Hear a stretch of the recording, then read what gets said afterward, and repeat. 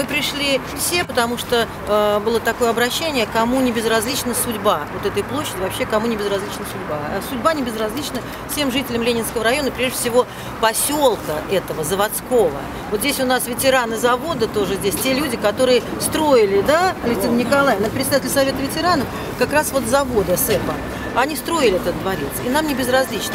И когда мы перелистываем страницы, это видите, у нас папка, а, здесь э, еще до меня Галина Николаевна, директор Каливатова здесь была, Кац Владислав Иванович, они вели такую замечательную переписку, она у нас все сохранена. Сначала э, боролись э, и продолжаем сейчас бороться с стихийной торговлей, когда вот приходят сюда, здесь у нас э, на ступенях торгуют. Потом, чтобы машины здесь не ездили, то знак поставят, то уберут. А потом, конечно же, с 2000 года, когда уже в аренду на 25 лет э, был э, сдан, вот, была сдана вот эта площадь, Тогда уже началась борьба Галины Николаевны и всего нашего коллектива. Я здесь работаю больше 30 лет, поэтому я тоже была в эту борьбу включена, все знаю. И самое интересное, что тогда, в 2000 году, этот, э, эта площадь была сдана в аренду администрации города Саратова э, городскому общественному фонду по поддержке культуры.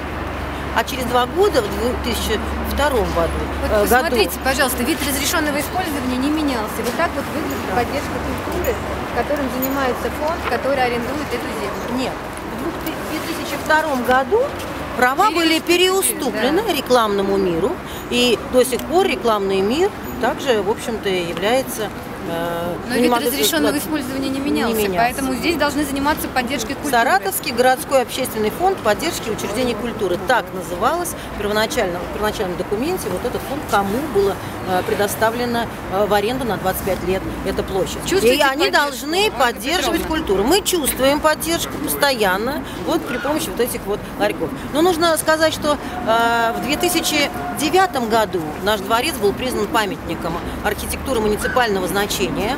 Это, э, в общем-то, было сделано даже без ведома собственника. Собственником у нас являются не частные лица, как говорит часто Олег Константинович, а собственником здания являются две организации. Одна организация э, – это ООО СЭПа ЗЭМ, и другая организация – это э, Союз-1, производственно-посредническая ассоциация, так она называется точно.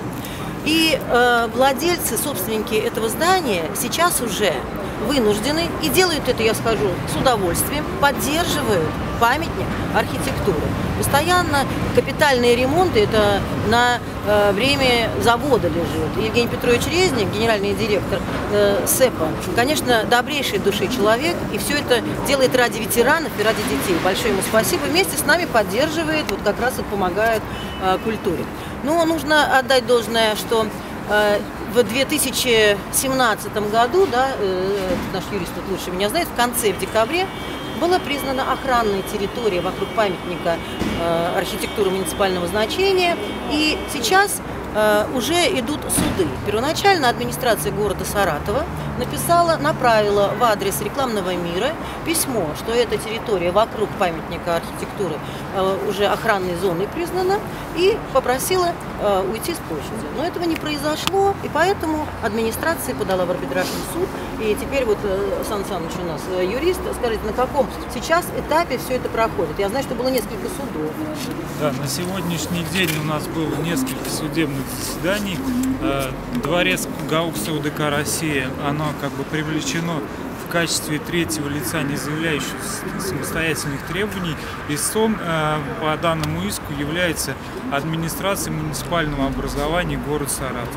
Ну, в общем, э, суть э, исковых требований такова, что освободить вот эту площадь, которая полностью, как мы выяснили, входит в границы, утвержденные границы памятника культуры муниципального значения. Э, у нас было несколько судебных заседаний.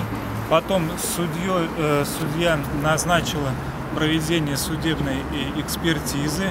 В ходе этой экспертизы было установлено, что площадь полностью входит в границы охраняемой территории. И вот сейчас у нас назначено на 21 ноября еще следующее, то есть судебное заседание, в ходе которого будет продолжаться рассматриваться это дело.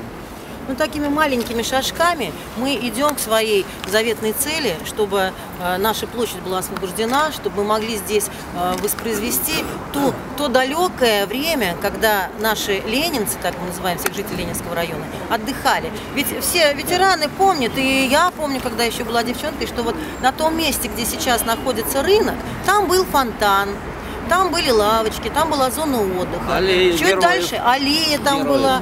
Чуть дальше стоял самолет. У нас там был летний деревянный кинотеатр, куда мы ходили и смотрели кино. И многие вспоминают, что мест не было, билеты все были распроданы, и в щелочку в деревянном заборе подглядывали за этими фильмами. Там мы проводили фестивали.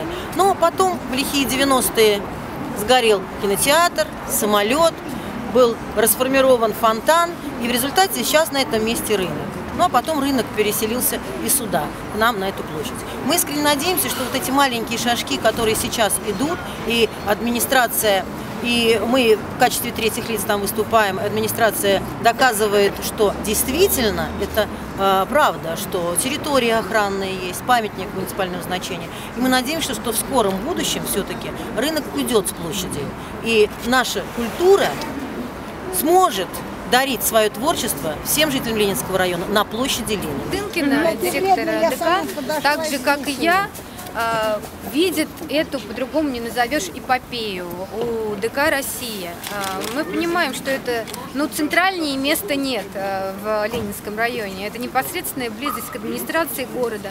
Это очаг культуры, вы видите, какой востребованный, потому что видели, сколько людей разных возрастов, все возрасты, да, здесь были представлены, пришли сегодня поучаствовать в рейде.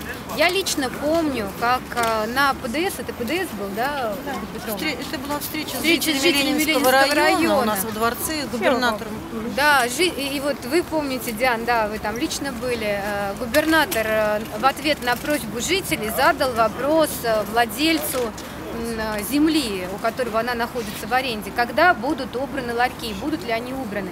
И при всем честном народе прозвуч- прозвучало обещание ларьки убрать.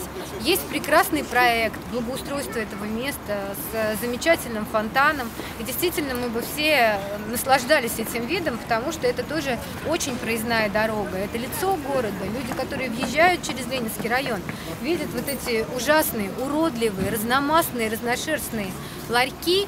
И это, конечно же, не дело. Поэтому э, Сейчас э, вы видите вопросам благоустройства, вопросам создания комфортной среды уделяется огромное значение. И вот когда есть двойные стандарты, да, когда на словах э, какие-то декларации делаются, да, люди как будто бы ратуют за то, чтобы было хорошо, а наступить на горло собственным корыстным интересам и сделать то, что обещано, не готовы, тогда вот и нужно создавать общественное мнение. Вы знаете, у меня опыт большой формирования общественного мнения.